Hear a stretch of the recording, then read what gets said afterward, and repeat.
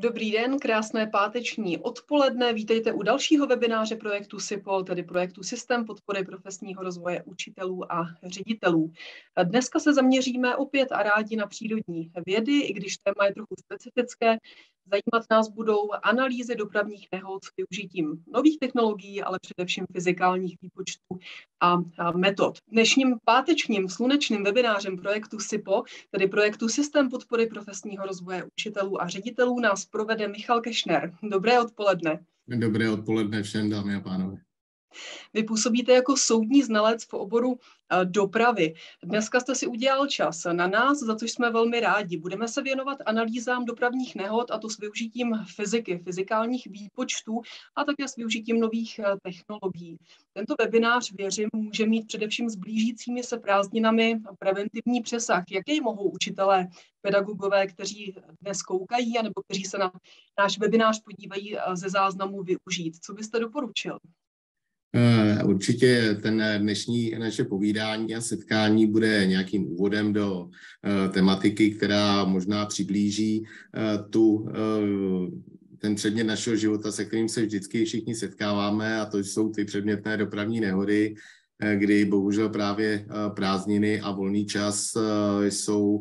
četným případem, kdy k těm dopravním nechodám se dostaneme, kdy je vidíme kolem sebe, nejenom tedy v rámci zpravodajství, ale kdy se pohybujeme sami na silnicích v rámci dovolených a dostáváme se do situací, které v tom provozu nejsou vždycky obvyklé, jsou někdy stresové a můžeme se dostat sami stát se účastníkem dopravní nehody, tak se tak eh, můžou eh, stát eh, primárně děti a studenti. Takže já bych při tom svém dnešním povídání chtěl na některé Eh, faktory, které se při těch eh, dopravních nehodách eh, promítají, na ně trochu upozornit a zároveň ukázat, jakým způsobem při analýzách té dopravní nehody postupujeme, aby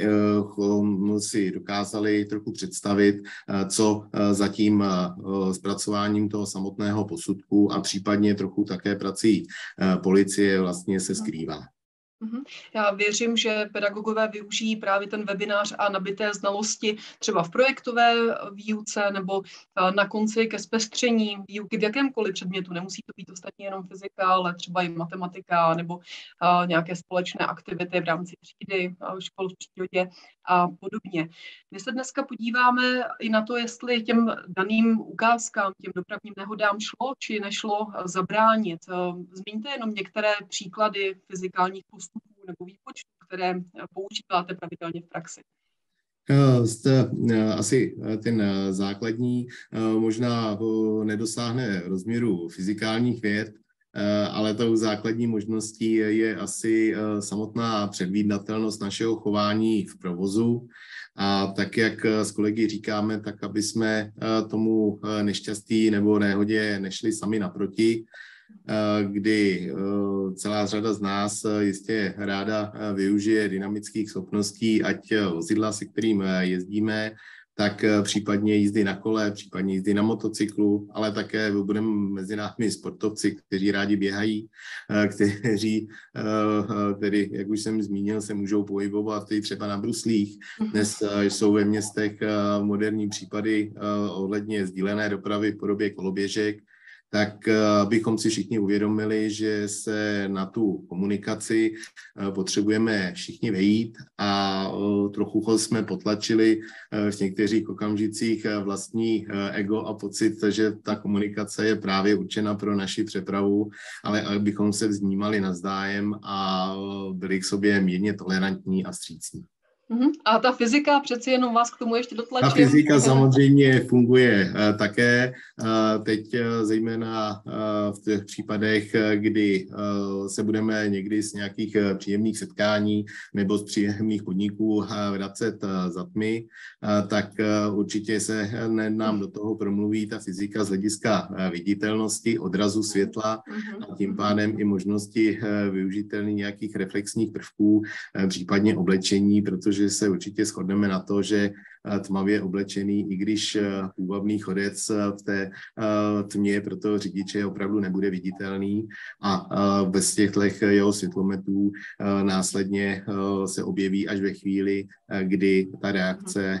toho řidiče už je obtížná a je obtížné i třeba tomu střetu zabránit. Stejně tak je potom platí vlastně ta často zmiňovaná a někdy podceňovaná skutečnost, že rychlost dovolená, která se nám někdy zdá zbytečně podhodnocená,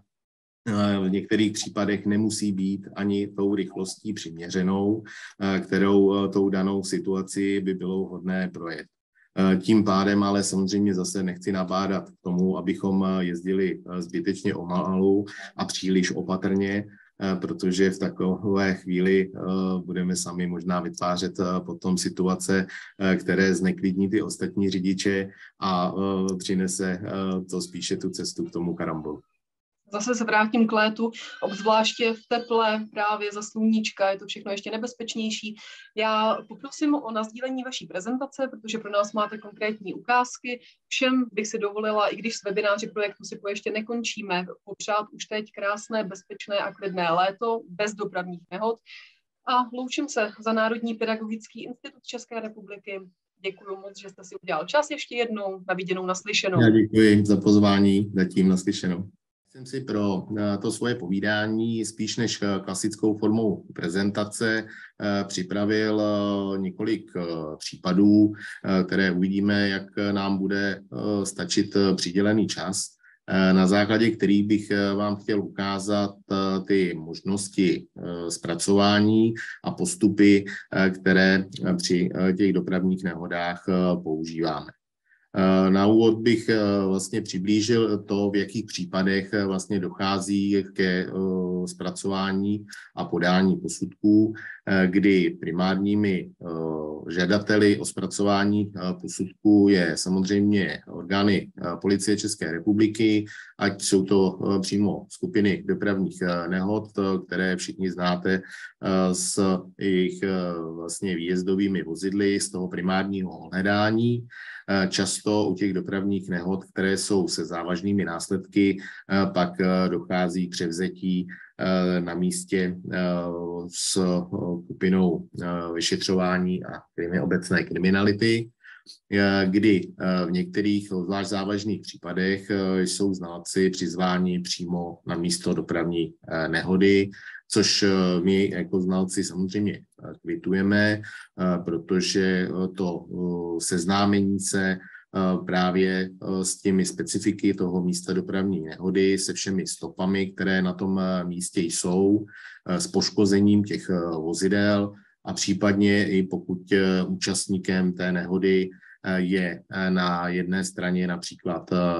chodec či cyklista či řidič motocyklu, tak i to seznámení se následně s těmi zraněními, která na tom místě jsou identifikovatelná, tak abychom potom následně mohli lépe komunikovat i s dalšími kolegy, Eh, kteří se eh, na tom zpracování podílejí eh, z hlediska své odbornosti. A tím mám tedy na mysli potom samozřejmě kolegy zdravotníky v případě, že je ve věci zpracovávána a posuzována například zdravotní pitva, či případně další dokumentace, která popisuje zranění, která vznikla při té dopravní nehodě Samozřejmě ty možnosti se sledují i v případě eh, vozidel, eh, pokud je například eh, možnost, a je to účelné, zpracovávat i řešení pohybu podsádky ve vozidle, což v některých případech je také možné. Já proto představení té práce a těch prostředků, které eh, dnes eh, používáme, eh, tak jsou to ať ty základní prostředky pro měření, které se zatím nikdy nevyhneme, ať jsou to ta základní měřidla, která jsou použita na místě při,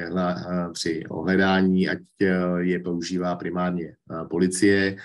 v těch základních případech, ať jsou to krokoměry, případně lejzlové dálkoměry, ta a jiná měřidla, tak čím dál častěji přicházejí na pořad i moderní prostředky, a to ať využití tedy pro zaměření totálních stanic, což se používá v současné době v rámci České republiky relativně plošně, ale rozvíjí se právě i dokumentace míst dopravních nehod pomocí techniky dronů, tak i pomocí techniky prostorových skenerů. Ta, právě využití těchto moderních prostředků je podmíněno samozřejmě jak tedy přístupem těch jednotlivých organizačních složek k této technice, tak samozřejmě i dostatkem pracovníků, kteří jsou schopni takovou techniku při té základní dokumentaci toho místa dopravní nehody využít. Následně potom je k dispozici podklad zpracovaný ať tedy do podoby standardního plánku té místa dopravní nehody a další dokumentace, které společně se spisovým materiálem jsou nám předány. Případně součástí těch spisových podkladů pak je i datový výstup, k kterém jsou právě ta data na základě provedeného zaměření, včetně tedy snímků, případně takzvaného mračna bodů, které je možné pak následně naimportovat do prostředí simulačních programů, které někteří z nás a dnes asi většina z kolegů, kteří se té práci aktivněji věnujeme, tak využíváme. Jako za dva základní a asi nejčastější softwary, které jsou využívány, tak je to jednak software společnosti DSD Austria, který se nazývá PC Crash. Následně také je druhý alternativní software, který se nazývá Virtual Crash. Oba uh, tyto uh, softwary uh, poskytují srovnatelné prostředí pro analýzu dopravní nehody, nicméně vždy je možné zpracovat i posudek takzvaně ručně pomocí standardních, standardních výpočtů. Nicméně právě tyto softwary, které používáme, umožňují lépe prezentovat závěry, které při tom svém zkoumání a šetření které dané věci učiníme a tyto závěry pak následně odprezentovat a vysvětlit také těm dalším účastníkům toho šetření, ať je to tedy vyšetřovatel policie České republiky, případně účastníci, pokud s nimi přijdeme do styku v rámci jednání policie, to případ při přípravném řízení, nebo následně při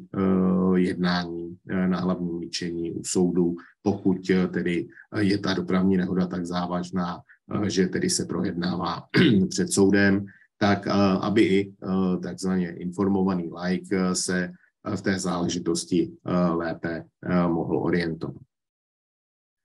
Zde bych přistoupil k tomu prvnímu příkladu, který jsem si připravil, kde se jedná o střed vozidla s chodkyní, kdy se jednalo tedy o situaci, kterou pokud se podíváme na fotografie, které jsem se snažil připravit, aby vám umožnili si představit tu situaci, která v tom místě dopravní nehody nastala, tak v té protější straně toho vašeho pohledu eh, vidíte eh, přijíždět vozidla, tak po této eh, komunikaci se pohybovalo dodávkové vozidlo, které odbočovalo z toho svého pohledu směru jízdy levo a v tom ve směru pohledu té fotografie tak se pohybovala chodkyně, takže právě, jak, jak jsem zmínil, ta pohyb té chodkyně probíhala právě po této komunikaci, po té dlažbě a pokračovala se vpravo na ten daný přechod pro chodce. Pokud si všimnete, tak se v tom místě nacházejí tedy i pomocné technické prostředky hlediska dopravy, to znamená, ať to dané zábraví, tak se tam nacházel ostrůvek té dané, daného přechodu pro chodce, přičemž tady bych jenom upozornil na to, že eh, právě v případech, eh, kdy eh, se nachází v tom přechodu pro chodce ostrůvek, kterým je ten přechod rozdělen, tak se následně eh, jedná fakticky o dva přechody pro chodce, nikoli pouze o jeden přechod pro chodce. V případě, že ten ostrůvek eh, tam není, tak pak je to jeden přechod. S tím i souvisí pak následné hodnocení toho vstupu na ten přechod z těch jednotlivých směrech pohybu. Následně v tom prostoru došlo ke střetu té dodávky s chodkyní a pohybu do konečných poloh, kdy ta chodkyně té své konečné poloze se dostala do té oblasti kolem obrubníků a vozidlo zastavilo té oblasti konce toho ostrůvku. To jenom pro seznámení se s prostorem, ve kterém se ta dopravní nehoda nastala, kdy vždycky i v případě, že nejsme přizváni na místo té dopravní nehody, a to je ten případ, tak vždy následuje prohlídka po převzetí toho spisového materiálu, abychom se seznámili s tím místem, pochopili jeho případná specifika a případně za účasti šetřovatelé provedli nějaká další doplňující měření. V daném případě eh, bylo eh, provedeno eh, zaměření podélného sklonu té komunikace, tak aby, když následně provádíme vlastní řešení, tak aby to řešení bylo korektní a současně zohledňovalo právě ty, to faktory, včetně právě sklonu té vozovky a tím pádem správné zájemné polohy mezi vozidlem a tím druhým účastníkem, ať tedy vozidly nebo případně chodcem nebo někým další. Současně samozřejmě platí ta základní věc, že eh, se musí respektovat právě ty podmínky, které v té době dopravní nehody panovaly. Eh, to znamená, že se samozřejmě zabýváme tím, jaké panovaly adhezní podmínky, to znamená, zda se docházelo ke střetu na suché živičné vozovce, případně zda ta vozovka byla mokrá v zimních podmínkách, zda nebyl na ní sníh. Eh, případně eh, zda eh, bylo náledí. Samozřejmě stává se i to, že dojde někdy při provozu vozidel k úniku provozních kapalin a v takovém případě i je možné vytvořit takzvané polygony se sníženou adhezí, kdy právě takové polygony umístíme do té konkrétní oblasti, ve které ta oblast snížené adheze se nacházela. A opět je možné provést korektní řešení tak, že při tom pohybu se například levá kola vozidla nacházejí na té podkladu a vozovce, kde ta snížená adheze nepanuje, naopak třeba pravá kola se nacházejí v té oblasti se sníženou adhezí. Já bych teď ukázal tato prostředí toho simulačního programu, který používáme. V daném případě se tedy jedná prostředí programu Virtual Crash, kde již tedy tu dopravní nehodu mám vyřešenou tím, že je ta dopravní nehoda ukončená v rámci svého šetření, tak vám ji mohu alespoň částečně odprezentovat. přičemž eh, tedy eh, došlo eh, pouze k tomu, že jsem se snažil vyeliminovat tu identifikaci účastníků, tak abychom nepřekračovali pravidla, která nám nastavuje ochrana, ochrana údajů těch účastníků. Takže prosím, ta dáma, s ní nám tady zůstalo pouze křesní jméno a u vozidla by nikde neměla být viditelná následně registrační značka. V tomto prostředí pak je možné pracovat tak, že jako první provádíme to základní nastavení toho softwaru a parametrů účastníků, zejména z toho pohledu, že máme k dispozici ten plánek místa dopravní nehody, který byl zpracovaný vlastně orgány policie. Zde vidíte Eh, že eh, mám eh, na importovaný jako bitmapu právě tento plánek, který policie zpracovala, tak abych si připravil prostředí, ve kterém vlastně ta simulace následně bude řešena. A protože nevždy se je součástí toho plánku, tak jak jej připraví policie, celková situace v tom místě dopravní nehody, a je potřeba řešit eh, pohyb těch eh, vozidel a účastníků na eh, delší dráze, případně současně provést kontrolu toho, zda tedy ten plánek, tak jak byl zpracován, odpovídá té dané situaci, tak jsou využity i letecké snímky, které opět jako bitmapu můžeme importovat do toho prostředí Eh, simulačního programu, následně eh, ty, eh, to plánky vzájemně skalibrovat, uvést do měřítka a následně v nich potom pracovat tím, že provedeme vlastně import modelů no, těch vozidel, která, se kterými budeme pracovat. Kde máme možnost naimportovat vozidla která jsou se svými technickými parametry eh, přímo uložena v databázi eh, takového softwaru s tím, že máme možnost volit i vozidla tedy jednotlivých značek, případně jednostopá vozidla, kde potom je možné takové vozidlo s jeho daty naimportovat přímo do prostředí té situace. Samozřejmě eh, je nezbytné eh, potom dbát na to, aby eh, byla provedena kontrola těchto parametrů a případně je jejich nastavení, to znamená, aby odpovídala ta data tomu konkrétnímu vozidlu. Výborné, zejména pro právě zpracování střetů, které se používají při řešení nehody schodci, je eh, využití vícetělesových eh, systémů, eh, které jsou právě využívány pro to vlastní řešení. Toho pro přiblížení a využiji vlastně přepnutí do 3D pohledu, kde vidíte, že zde byla tedy naimportována postava chodkyně, respektive její vícetělesový systém, který já následně mohu použít a dále nastavit pro to vlastní dané řešení. Já si,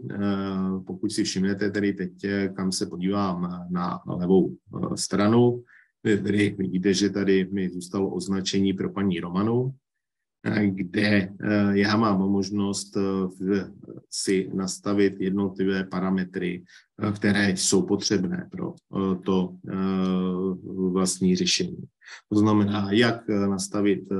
tření, hodnotu tření, jakou má mít právě mezi vícetělesovým systémem a tím vlastním terénem, tedy danou vozovkou, případně jaké má být hodnota tření pro kontakt eh, toho eh, povrchových částí vozidla s právě tělem toho, toho chodce, případně pro řešení střetu i koeficienty restituce a podobně. Schodně pak jsou zadávány po rychlosti pohybu, protože to řešení provádíme tak, že jak na základě analýzy Eh, dat, eh, která, eh, kterou provedeme na počátku a vyhodnocení tedy těch dat, která jsou obsažena ve spisovém materiálu, ať po hlediska například výpovědí těch účastníků, výpovědí svědků, případně když je k dispozici kamerový záznam, tak v takovém případě opět máme možnost ta data soustředit, vytěžit z těch podkladů, které máme k dispozici a následně je promítnout do vlastního řešení. Potom ta, ten příklad s využitím třeba i kamerového záznamu vám ukážu při dalším příkladě. Zde tedy vidíte, že byla v tom řešení jako technicky přijatelná konstatována rychlost pohybu běžnou úzí pro chodkyni té dané věkové kategorie, která činila cirka 5,5 km za hodinu. Samozřejmě, aby bylo ten výpočet korektní, musíme znát také výšku postavy té chodkyně a její hmotnost. Opět tyto parametry zadáváme. Stejně tak máme možnost pro té dané chodkyně provést možnosti nastavení jednotlivých kloubů, které se nacházejí tehdy mezi na končetinách, na, na trupu, případně na spojení trupu a hlavy, tak abychom docílili té polohy, kterou ten chodec či například běžec právě při tom daném svém pohybu měl. To například specifické u řidiče například čtyřkolky, kde ten poses či postoj je nestandardní. Stejně tak, pokud budeme řešit například cyklistů, který se pohybuje na svém bicyklu ve stoupání a stoupne si na tom jízdním kole tak, aby se mu lépe ten, to převýšení zdolávalo, tak i jeho postavu právě potom pomocí těch kloubů můžeme nastavit tak, aby odpovídala té realitě. Proto, abychom mohli i identifikovat, co je reálné a co není reálné, tak v rámci svých vlastních seminářů, které jsou garantovány vysokými školami u nás v České republice, se primárně tedy jedná o Ústav soudního inženýrství. V Brně, kdy dochází ke spolupráci se s Vysokým učením technickým v Praze, kdy zejména v poslední době se sešla skupina lidí, která spolu velmi dobře komunikuje a provádí se další testy, ať crash testy nebo studie pohybů těch jednotlivých účastníků dopravních nehod, tak, abychom získali co nejvíce podkladů pro další řešení. Například v minulém roce proběhlo zkoumání na uh, cyklistů, uh, respektive cyklistů využívajících uh, elektrokola, které v současné době zažívají velký rozmach, to jistě všichni víte a většina si z vlastní zkušenosti. Stejně tak jsme zkoumali vlastnosti elektrických koloběžek, Eh, to znamená, zajímaly nás eh, ty eh, jejich dynamické schopnosti a dynamické vlastnosti z hlediska možností zrychlení a naopak zase při schopnosti brzdění, to znamená hodnoty dosažitelných brzdných zpomalení. Zde bych jenom upozornil na ty faktory, se které jsme s moderátorkou zmínili na tom počátku našeho povídání. Eh, s tím, eh, že zejména eh, u těch uživatelů koloběžek je dobré apelovat na to, na tu její předvídatelnost chování vůči ostatním účastníkům provozu. A i v případě, že se pohybují způsobem, který asi nelze doporučit z hlediska legislativy, Nicméně ty dynamické parametry eh, těch eh,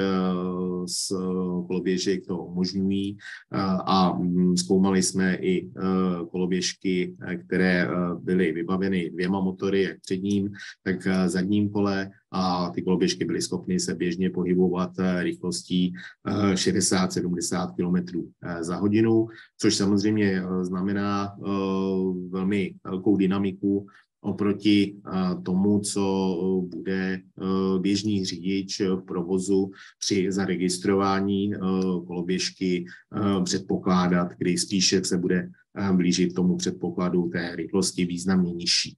A pak samozřejmě je důležité to, aby byla ta rychlost pro ty ostatní účastníky dobře identifikovatelná a zjistitelná. To znamená, aby takový účastník byl pro ty ostatní pozor, účastníky provozu zaregistrovatelný a oni na něj mohli reagovat. V tom daném případě vidíte, že ta fotkyně se již nachází ve střetové voze, kdy vždy tím bodem nula, ze kterého tu situaci začínáme řešit, je právě vlastní střed, kdy se řešíme ten střed a hledáme na základě vyhodnocení těch parametrů, které již máme, to znamená, máme obvykle konečnou polohu toho těla fotce, případně jsou tam zanechané stopy, ať tedy v těch horších případech podobě krevních stop. Schodně máme většinou konečnou polohu do daného vozidla, kde skončilo po střetu, případně máme k dispozici nějaké stopy, ať brzdného nebo smykového charakteru. A samozřejmě máme dokumentováno poškození toho daného vozidla, a máme k dispozici lékařskou zprávu či tedy zprávu případně pitevní, ze které je možné identifikovat zranění toho účastníka podobě chodce či cyklisty. Samozřejmě v těch případech závažnějších pak vedáme konzultaci s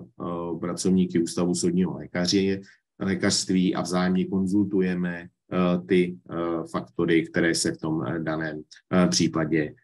mohly nastat a které jsou rozhodné pro to posouzení a které my z oboru technika bychom mohli vyhodnotit chybně, takže ta vzájemná konzultace následně probíhá a případně jsou závěry součástí jednoho či druhého postupu.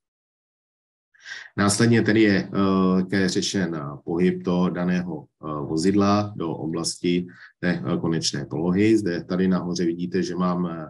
dynamické popisky, které dokumentují vlastně nastavení parametrů pohybu daného vozidla.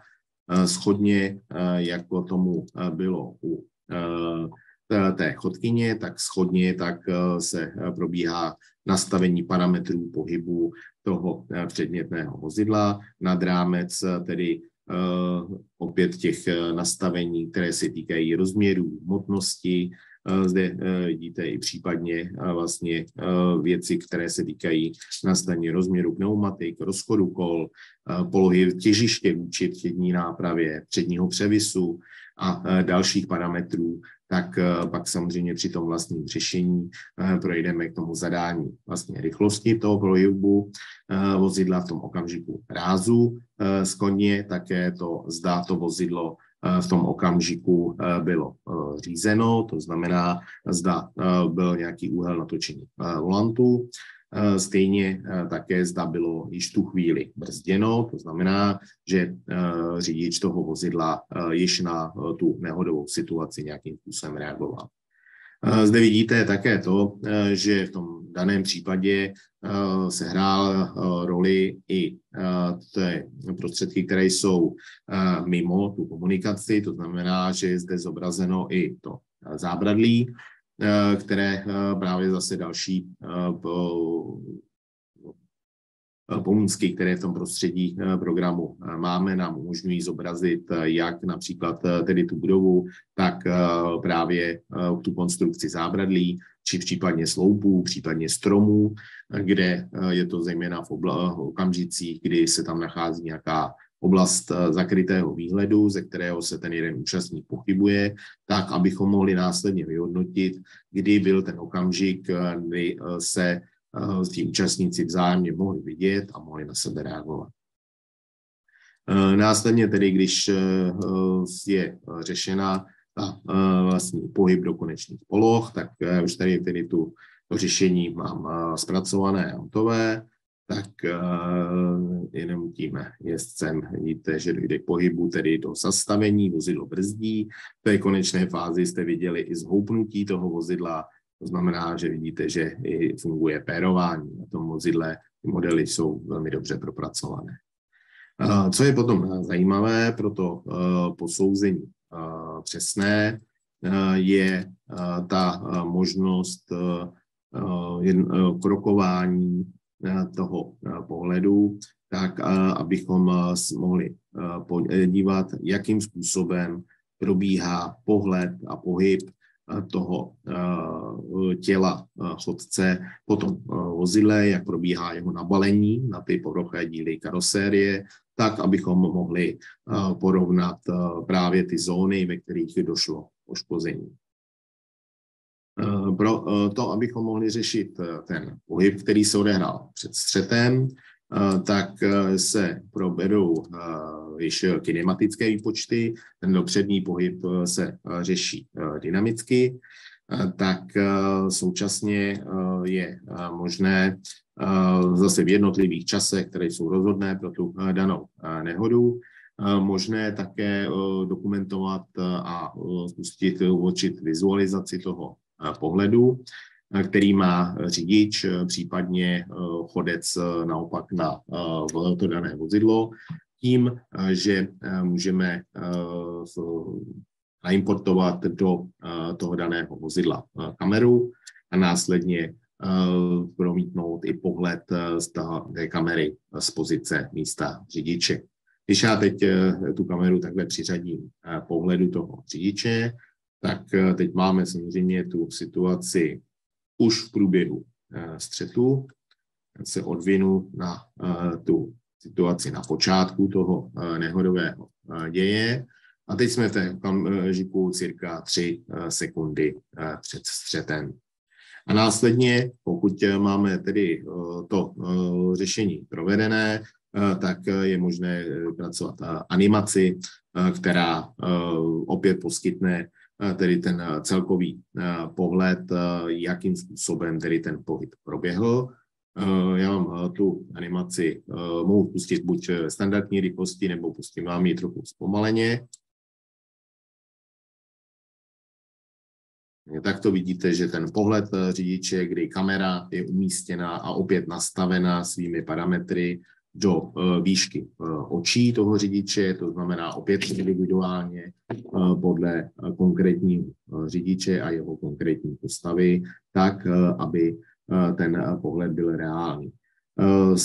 Tato situace se využívá i mimo vyšetřovací pokusy, proto když řešíme, kdy zda při tom pohledu z místa řidiče mohl být třeba chodec viditelný. Sami zde vidíte možný vliv sloupů karosérie, kdy z některá vozidla, která na trhu jsou, mají krásný design, nicméně je někdy ta výhled z jejich interiéru o něco méně snažší oproti vozidlům jiným. Takže potom, pokud to bude řidič velkého SUV nebo například sportovního kupé, tak je potřeba dbát na ta specifika a vědět, zda tedy může nastat situace, kdy se mi ta,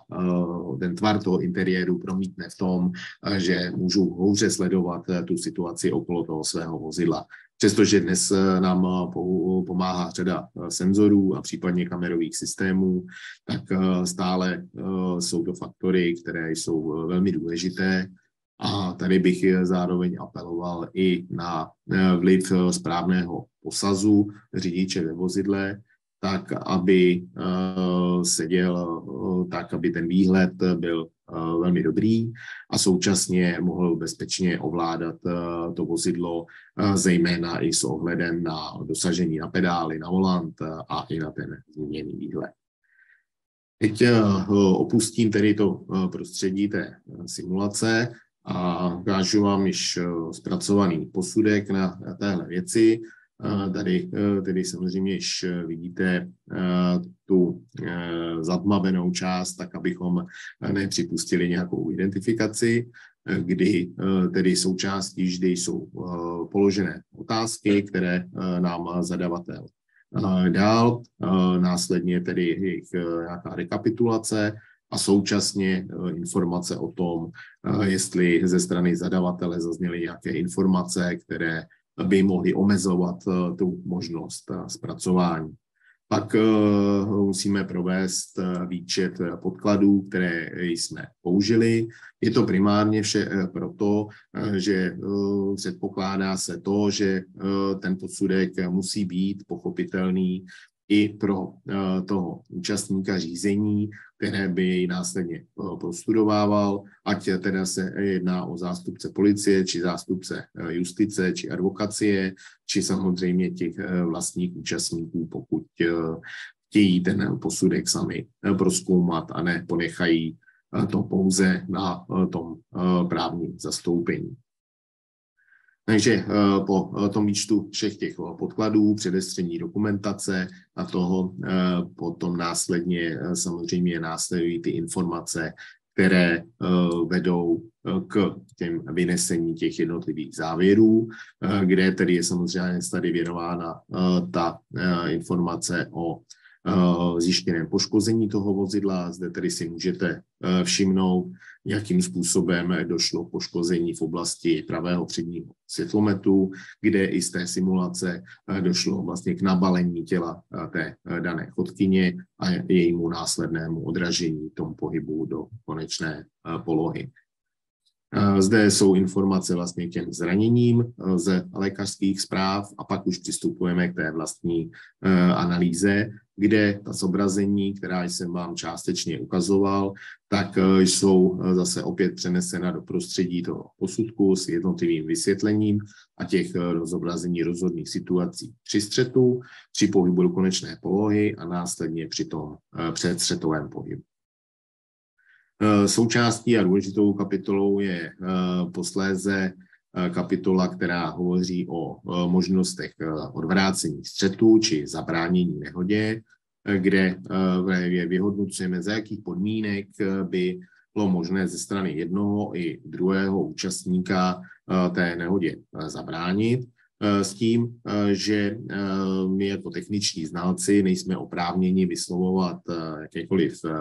právní závěry. My můžeme hovořit pouze z toho našeho technického pohledu. To znamená, že ke střetu by například nedošlo v případě, že by ten řidič reagoval v jiném čase a brzdil jiným brzdným zpomalením, po případě se na počátku toho nehodového děje eh, pohyboval jinou rychlostí. Eh, stejně tak se vyjadřujeme tomu, zda například ten chodec mohl či nemohl to, své, to vozidlo eh, spatřit a zda na něj mohl či nemohl čas reagovat. Tom daném případě bylo zřetelné to, že kutkyně vstoupila na ten přechod v okamžiku, kdy eh, nebylo dosud nepochybné, že ze strany toho řidiče jí dojde k umožnění překonání té eh, vozovky zastavením toho vozidla eh, před přechodem. Takže velmi často se stává to, že ta nastalá dopravní nehoda je výsledkem jednání obou či více těch účastníků. Málo kdy se stává to, že ta, ten celkový vliv na Eh, ten nehodový děj je pouze, pouze jednoznačný. Pak samozřejmě záleží na to, kdy z toho právního pohledu eh, na eh, čí straně bude stát daná legislativa. Zde opět s těmi nadcházejícími prázdninami. Určitě dávejme všichni pozor, když se chystáme překonávat vozovku, ať tedy na oblasti přechodu pro chodce, ale zejména eh, kdy eh, v městech eh, jsou míst, v některých místech ta, ty přechody pro chodce nahrazeny takzvanými místy pro přecházení, kde opravdu neplatí ta pravidla pro toho ochrany zvýšené pro chodce, která platí na tom vlastním vyznačeném přechodu každém případě je potřeba si uvědomit tu nutnost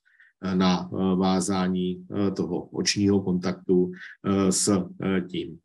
řidičem toho vozidla. Je to samozřejmě ta věc pohledová a v okamžiku, kdy nemohu identifikovat to, že skutečně ten řidič mi umožní překonání té vozovky, tak raději do té vozovky nevstupovat. Eh, současně to platí eh, samozřejmě i na těch víceproudých komunikacích, eh, kdy jeden řidič zastaví, ale to neznamená, že zastaví i to vozidlo, které se pohybuje v tom sousedním jízdním, jízdním pruhu. Takže to je ta nehoda, která se týkala pohledu chodce. Tento soubor zavřu a půjdu na tu dopravní nehodu, která si myslím, že by pro vás mohla být eh, zajímavá z pohledu eh, právě hm, využití i kamerového záznamu, které při té dopravní eh, nehodě byl pořízen. Byl ta dopravní nehoda mezi tramvají a chodcem. Na videozáznam, který byl pořízen z té tramvaje. A zde vidíte, že eh, je to tramvaj, která přijíždí eh, po tom eh, kolejovém pásu a zde z toho prostoru vychází chodec a následně dochází, dochází ke střetu. To je samozřejmě situace, která je velmi nešťastná a měla, ta nehoda měla tragický následek. Eh, nicméně eh, bylo se jednalo o eh, potřebu vyřešit tuto věc nejen tedy z toho pohledu pohybu chodce, který byl dokumentován právě tou kamerou, ale také z toho pohledu řidiče té tramvajové soupravy neboť se následně posuzovalo to, zda ten řidič té tramvajové soupravy nějakým způsobem tomu střetu mohl zabránit či nikoli. Zde tedy byla provedena detailní analýza toho kamerového záznamu, který byl tedy zajištěn a poskytnut tedy tím provozovatelem toho té tramvaje. Eh, existují eh, softwary, eh, které umožňují vlastně provést jednotlivé snímkování z toho záznamu a tedy lepší vytěžení té vzájemné polohy mezi tím konkrétním vozidlem, v daném případě tramvají a okolními body, které se nacházejí podél toho prostředí místa dopravní nehody a současně vyřešit i to, kde se v takovou chvíli její účastníci nacházeli. Samozřejmě z každé tram záznam, ve které známe, kdy, v jakém čase ten řidič či řidička reagovali, zvonek, zda ta tramvaj začala intenzivně brzdit, či nikoli. Zde jste viděli opět, že tady byl zaměřen sklon, byly nastaveny parametry tramvaje, byl použit opět letecký snímek, proběhlo ohledání té tramvaje tak, abychom mohli najít eh, případné markanty a stopy, které tam byly eh, zachyceny. Tady na tom obrázku vidíte, kde je ta eh, kamera na tomto typu tramvaje určená, umístěná a opět tedy řešen ten jednotlivý, jednotlivý pohled. Eh, zde vidíte potom v jednotlivých eh, časech, tak jak byly rozebrány a eh, dány postupně na tu oblast pohledu směrem k chodci, který tedy tu komunikaci překonával. Bylo to samozřejmě mimo přechod pro chodce. Tady po pravé straně se nachází původní areál autobusového nádraží a ten chodec tady tu překonával tu vozovku v oblasti přejezdu určeného pro vozidla. Eh, to byl vlastně první okamžik, kdy eh, byl eh, chodec pro toho řidiče té tramvaje rozlišitelný. Je velký, velkou úlohu zde hrála vlastně i ta protijedoucí vozidla a svět jejich světlometů. K té nehodě došlo časně nad ránem, kdy ještě tedy byla, byla tma. Zde potom opět je zase přiblížení těch jednotlivých poloh v jednotlivých časech, které byly vlastně vytěženy z, té, z toho snímkování toho kamerového záznamu, pak už ta vlastní střetová poloha. Opět zde tedy potom bylo provedeno nastavení toho daného prostředí, včetně na importování modelu tramvaje, to vlastní kolejiště samozřejmě k dispozici nemáme, ale je opět využit letecký snímek, který nám umožňuje připravit eh, to dané eh, prostředí a ten vlastní střed řešit. A právě tou analýzou toho kamerového záznamu jsme došli postupně k tomu, že řidič té tramvaje reagoval v čase, kdy toho chodce mohl poprvé spatřit. A zde je také hodné si uvědomit, že ty hodnoty došležitelného brzdného zpomalení u jednotlivých vozidel jsou různé. Právě ta kolejová vozidla v podobě tramvají dosahují brzdných zpomalení významně nižších než ta běžná, běžná vozidla, kdy tedy ty osobní automobily jsou schopny dosáhnout na té suché vozovce bez nějakých významných sklonů, brzdných zpomalení 8 až 10 eh, metrů za sekundu na druhou, když to ta tramvaj je schopná brzdit zpomalením pouze v úrovni cirka 2,5 metrů za sekundu na druhou. To znamená, že eh, to brzdění do zastavení proběhne na významně delší dráze. Eh, a to v podstatě ovlivnilo i, tu, i to prvotní posouzení ze strany policie, kde zazněl předpoklad eh, o tom, že řidič eh, mohl eh, včas toho chodce vidět a mohl, mohl zastavit. Z toho provedené analýzy následně bylo tedy konstatováno, že řidič reagoval poprvé, když mohl tedy toho chodce spatřit a následně tedy brzdil a tomu střetu již zabránit nemohl. Eh, proto pak eh, také tedy eh, došlo vlastně ukončení toho případu tím, že ten řidič té tramvaje byl zproštěn obvinění. Zde je opět potřeba dbát na to a tak, jak jsem zmiňoval na tom počátku, tu hodnost použití reflexních prvků, tak samozřejmě v městském provozu a v městské zástavbě nám legislativa nic takového ne, eh, neukládá. Eh, nicméně, pokud se zejména týká ten pohyb dětí v městském provozu za tmy v tom období školního roku, tak určitě jsou vítané všechny prostředky, které je v tom provozu zvýrazní, ať jsou to tedy reflexní prvky na taškách či na oblečení, Eh, opravdu z těch eh, vyšetřovacích pokusů, které potom eh, provádíme při těch běžných nehodách, významně tyto prvky zvyšují viditelnost a zdišují právě ten časový prostor,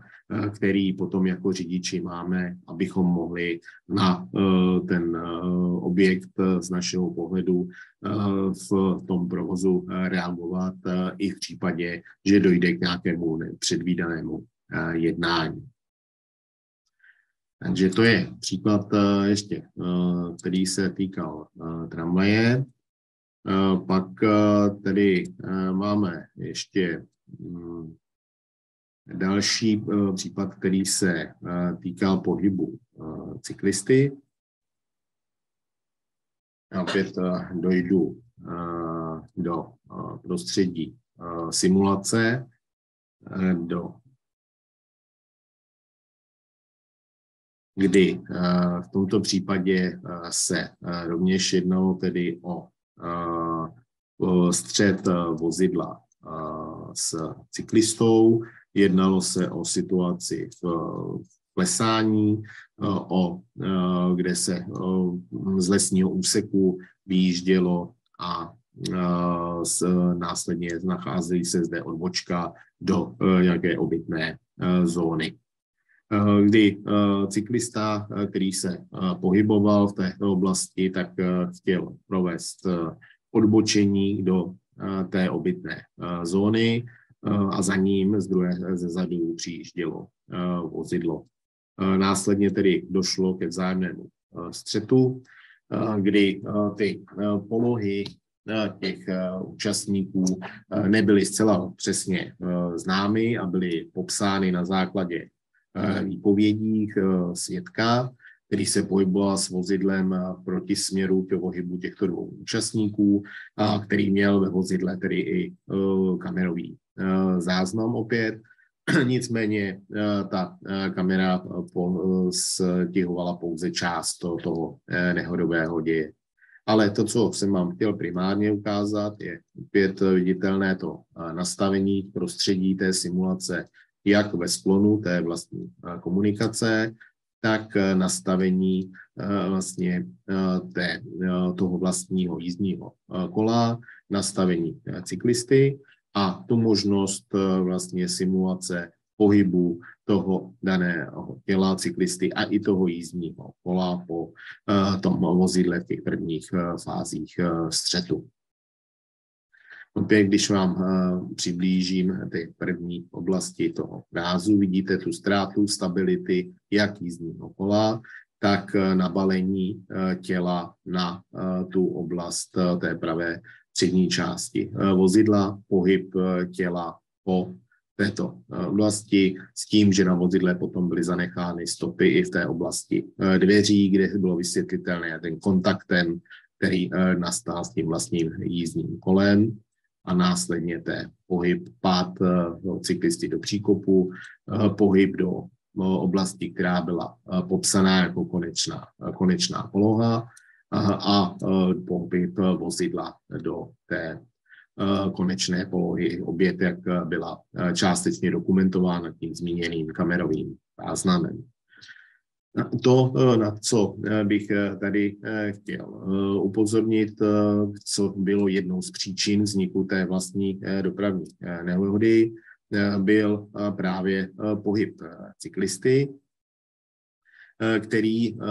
ten odbočovací manévr, který chtěl provést do tohoto prostoru, Eh, tak eh, předtím eh, včas nenajel vlastně ke středové čáře, což platí při, i pro odbočování vozidel, abychom najeli nejprve ke středu vozovky a od středu vozovky pak zahajovali vlastní odbočovací manévr. Ten řidič se následně domníval, že tedy ten cyklista bude pokračovat v tom přímém směru jízdy, přestože významně zpomalil, Eh, bylo viditelné, že eh, k tomu střetu došlo eh, poměrně nízké rychlosti, že vozidlo se pohybovalo rychlostí cirka 38 km za hodinu, je to místo mimo obec. Takže ten řidič na to vozidlo reagoval již v té oblasti před Eh,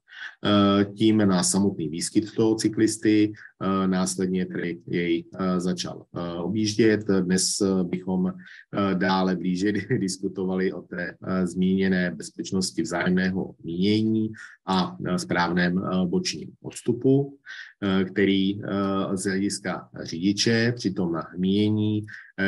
nebyl rovněž té úrovni požadované a bylo to zmíněno jako jeden z faktorů, který se podílel na vzniku té dané nehody, ale eh, nebyla to primární, eh, primární příčina. Eh, při tom pohledu, co se týče právě toho daného bočního odstupu těch účastníků, ta, ty informace, které dnes jsou pevně dané v té legislativě, tak více-méně byly platné již před touto legislativou, kdy jsme hovořili o tom, Eh, že eh, stále ty účastníci musí zachovat takzvaný bezpečný odstup. Nebyl definován. A z pohybu eh, cyklistů, ať tedy z realizovaných zkoušek, testů, vyplývá, že ti cyklisté se pohybují po takzvané mikro a makrovlně a ten boční výkmit v závislosti na způsobu tedy toho pohybu a intenzitě šlapání dosahuje cirka až jednoho, jednoho metru. A pak samozřejmě je nezbytné ten boční odstup održet takový, aby jsme měli možnost čas na takový pohyb cyklisty reagovat. Opět bych apeloval na zájemné vnímání, Eh, obou, obou světů, jak světu cyklistů, tak světu motoristů, eh, tak abychom se eh, zájemně na té komunikaci respektovali a měli ohled na charakter toho pohybu, který tam je a měli jistou míru ohleduplnosti. Ta platí i tedy u těch všech ostatních dostupných dopravních prostředcích. A to je asi to eh, hlavní, eh, s čím eh, bych chtěl před těmi prázdninami přinést jako informaci k tomu, abychom na sebe byli vlídní a respektovali se na nejen běžném životě, ale i na komunikaci, kdy někdy se setkáváme s tím, že se někteří řidiči uzavřou do eh, té plechové krabice a mají pocit eh, eh, toho, že jsou částečně neviditelní a jsou v jiném světě a snaží se té ostatním skupinám vnutit ten svůj model chování. Pak určitě nenechte na sebe vytvořit nějaký nákupák a snažte se chovat tak, aby té situaci nedošlo. Nicméně eh, všichni eh, děláme eh, chyby jak v běžném životě, tak i v tom provozu na pozemních komunikacích. Všichni jsme omylní a právě jenom to, že v sobě budeme trochu tolerantní, může více zabránit tomu, aby jsme my jako znalci měli co nejméně, co nejméně práce a bylo sebe co nejméně neštěstí. Takže to vím, že nám čas uh, asi eh, vypršel pro to dnešní krátké uh, povídání, tak tímto bych vám chtěl poděkovat za pozornost. A snad jsem vám mohl dát aspoň kuse informace o tom, jakým způsobem se dnes při tom zpracování posudků postupuje a e, že mm, nám e, ten stav poznání a těch prostředků oproti e, minulosti velmi pokročil a nepochybně